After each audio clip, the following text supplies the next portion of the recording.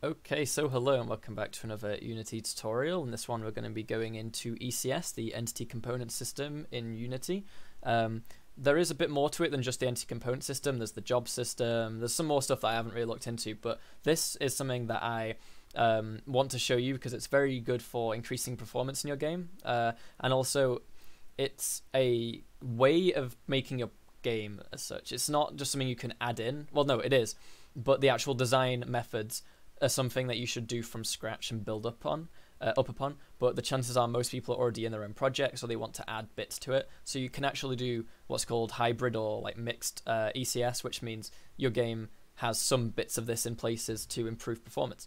Now I knew about this for a while, but I've never actually used it in my own game until today, and I feel like it's a good top video topic to cover because um, I was looking at performance in my own game, and my computer runs the game fine, but the thing is, I was looking at um, the profiler to see, you know, what's what's taking a while, what's taking the most time in a frame to, you know, calculate.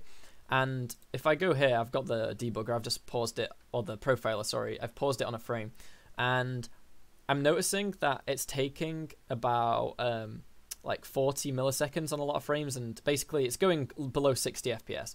Um, on a lot of frames. Keep in mind on this, going below 60 FPS is when it goes above the line. It like the the bigger the spike, the lower the FPS because it's all about lag spikes.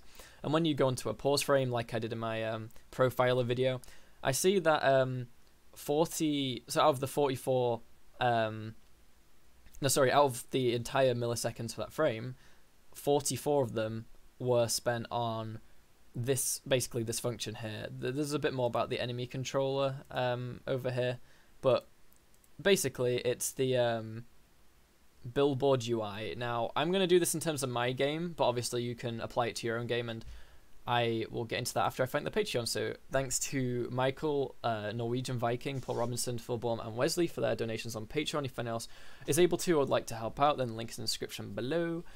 Um, so what I was saying. Entity component system is a design where you have behavior in your code in your scripts uh, separated from the actual like data and variables and everything. And what you can do is you have um, the entity component system itself will store entities, so game objects basically, and it can loop through those and do the code itself. And it sounds it's a bit hard to explain, but the re- I'll give you my example and then you'll understand better. So in my scene, I have lots of grass. Now I've decided to go for texture grass rather than modeled grass because uh, textures are easier than um, meshes to render. And by meshes, obviously it's still a mesh. It's a quad, but um, like this quads only have. Like if I I don't know why it's not. Let me go in here. Uh, environment, um, grass. I don't know which one this is it's not actually bringing up in it. But the point is, um, it'll have like a quad will have four vertices, or maybe it actually has yeah, it should have four vertices uh, made up of two triangles. So like a triangle. If I was looking at this straight on, there would be a triangle down up to there. So this triangle, and also be one going down right there. So it's made up a square of two triangles. And that's a lot easier than meshes to render. But I have a lot of this grass. And the thing about this grass is it rotates to face the player. So that wherever the player is looking, the grass will always rotate to face the right way. So if I'm looking in um, this direction, for example, as you see in the game view, the grass is all looking at me. And if I was to move, it would rotate. So I have a script on this grass. Now that script is nothing special. It's called Billboard UI, and um, all billboards. Oh, here's the actual. You can see the um, quad now. So billboard is just the term for making something kind of look flat on at the camera. Now, um, there is a way to do this for shaders, and I might end up switching it out if I manage to figure out. Because personally, I am not an expert with shaders, but obviously, if it means uh, improved performance, performance, then I will go back and change it. But the point is, I have a script on all this grass called Billboard UI, and it's quite simple. And what it does is, it when it opens, I have to manually go into it. Um, ignoring this commented out code because that's to do with the entity component system, which I'll show you how to set up soon. Um, we get the player's camera uh, on main. Oh, well, no, sorry, we get the player's camera by you know accessing it through camera.main uh, on the start, and storing it. So we cache it there. We'd have to get it every frame because that would make it a lot more, um, a lot worse performance if I got it if I had to go find every frame rather than caching it. And then every fixed update frame, we make sure we've still got the player camera, and if we don't, we'll find it again. But otherwise, we can just um, look at, and then this is just a quick calculation to make it face um, look straight on at the camera, basically. And I can put that on any UI, basically, and it'll rotate to face the camera. So I do that on the player's health bars as well. Now, that's good and all, but the thing is, this update, even though it's just something simple to rotate to face a player, I have it happening, as you see over here, 2,712 times apparently even though there's not that many pieces of grass, it still happens that many times, or at least there's this many calls going on in here. It also has the enemy's uh, health bars rotating to face a player, so it all adds up. And if I add more to the scene, it's going to, you know, get even more intensive. So I need a way to kind of handle that. And one way to handle that is to write logic for, you know, rotating and stuff.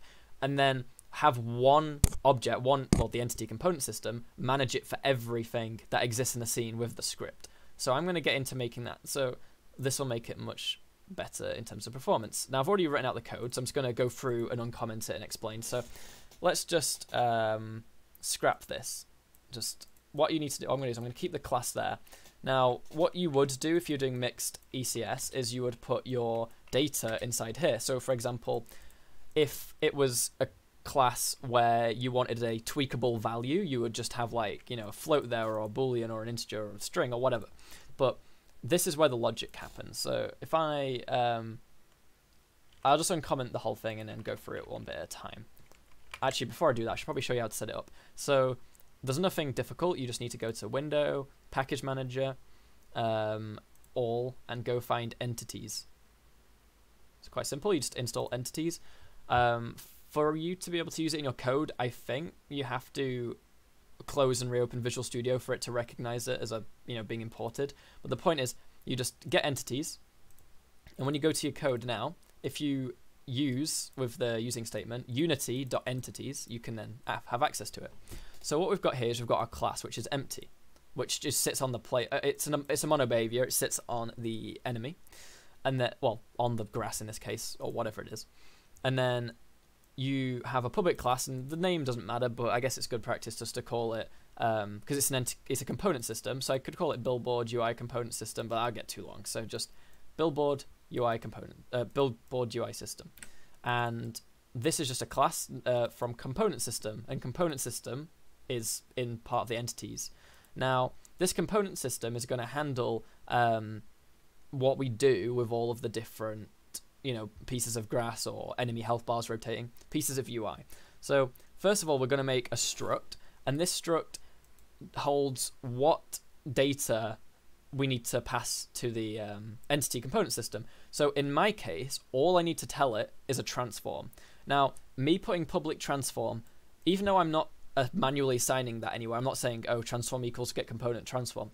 What this will do is it will mean the transform component of this the well the game object that this uh, billboard UI is on. So for the specific ones, if I obviously go to like a particular piece of grass, the um, transform of that piece of grass is what this will use. So if you want any other data being passed in, you would put it here. So you might have a public float that gets passed in or whatever. You put other um, data. Now, if you were having like data in here, like you had a um, like um, you know public string name uh, equals, you know, something, whatever, right? If you had that, the way you would pass it in is you would actually just say um, like public billboard UI, the and that would just pass in itself. The reason why I don't pass that in is because there's nothing from it. So you can, it just would be a waste to pass it in. Um, anyway, so let's just keep that on one line to keep it neat. So keep in mind, this is a very basic example, obviously. I can go into more complex uses if you want in future videos. But after um, this, I have a private transform, camera transform, and that is simply just to cache the camera, you know, the player camera, because as I said, I, I, had that cached already. I want to keep that cached. Um, now, um, there is a function called onStartRunning, which is equivalent to um, just the start event in mono behaviors. So when we start running the system, the component system, we get the camera transform to be you know camera.main.transform and store that here. That's fine. That's just getting it on the start. And on update is the same as update, but for the entity component system. So rather than calling update on all these like 600, 700, 800 different objects and going through the updates and doing the same thing over and over and over again, we just do it the logic once on the entity component system, and we apply that logic to all of the the entities that want it basically. Um, so uh, I just say make sure you know the camera transform isn't null because if it is null and we try and rotate it, then obviously it's gonna give you errors. So that's just avoid errors. And if if uh, it is null, which would I mean in my game technically that should never be the case. There should always be a camera. But maybe if you go between scenes, because the entity component system doesn't stop running between scenes as far as I'm aware, you might want to um, you know get it again the next scene. So as soon as the next scene loads, it'll become null. So we'll run this once, get the camera again, and we'll be good to go. So this isn't inefficient getting the cameras transform because this else will only ever get called like once per scene start, so it's fine. Now we get quaternion look rotation is the camera transforms rotation. The reason why I cache that is because it's just one less thing to do. Because if I put it in this for each loop, I'm gonna have to cache it or like store it every single time I um, go through that loop. But if I you know just store it here before the loop, then I don't have to get it every time. It just saves extra wasted you know power, I guess, or processing power.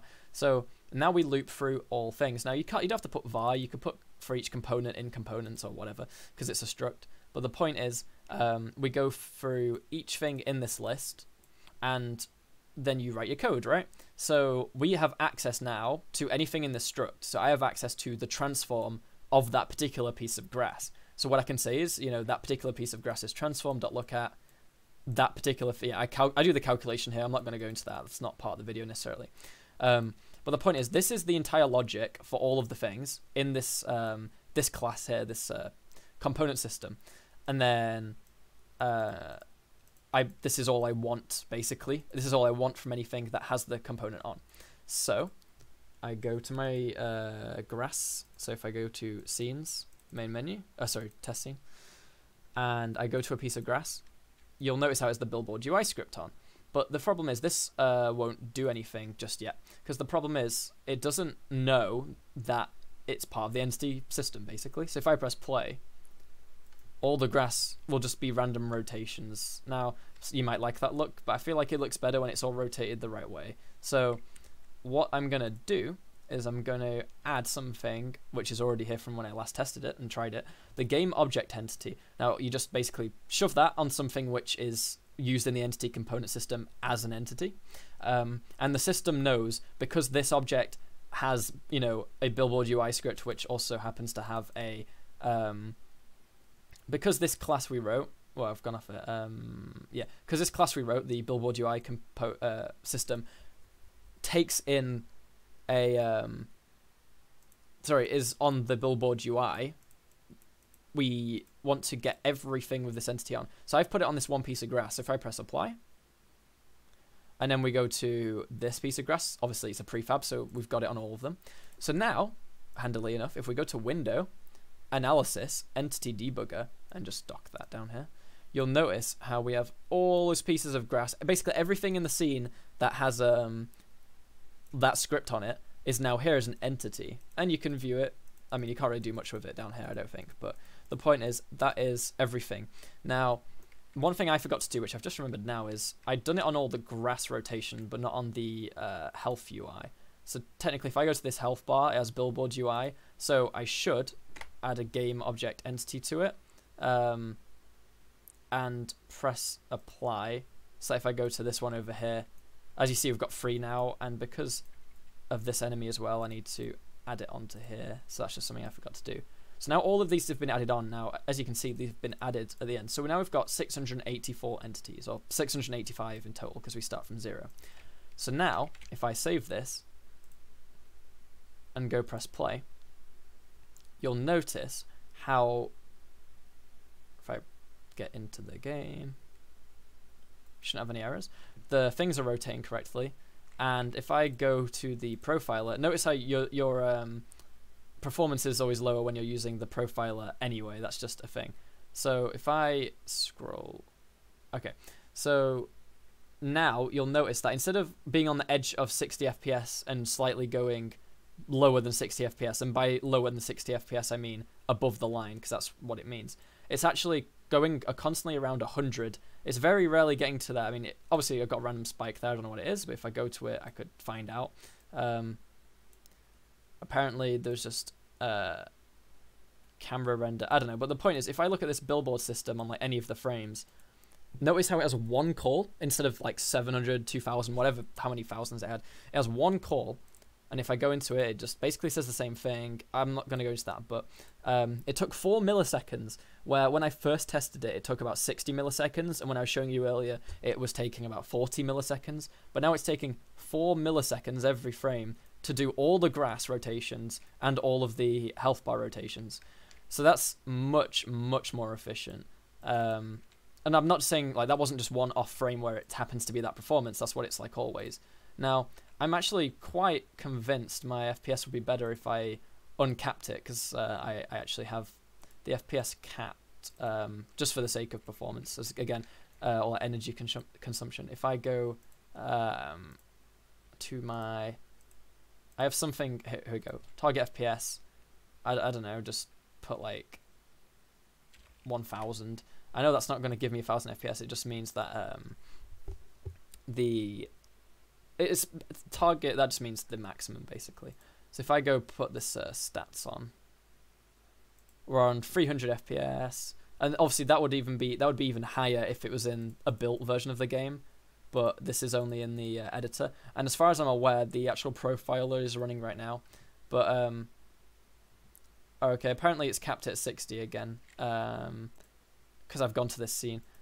I don't know, it's fine but the point is the FPS is definitely better and it's taking less time per frame to do all this stuff. As you can see, it's nicely below the 60 line. Um, and because I've only fixed one system, obviously if I, if I do this on other systems that there's lots of, then you increase the performance there. And it's good practice with new projects to use this design for everything, but I'm not exactly sure how you do it for an entire project because I'm still used to using mono behaviors and game objects. So um, I will do some research into how to make like a fully like ECS projects, like how to um, avoid mono behaviors altogether. And when I've like you know got to grips with all that, then I'll do another video on that. But I hope you understand this, and if you have things in your scene that have perhaps you know you got tons of them or scripts all over the place that are doing the same job.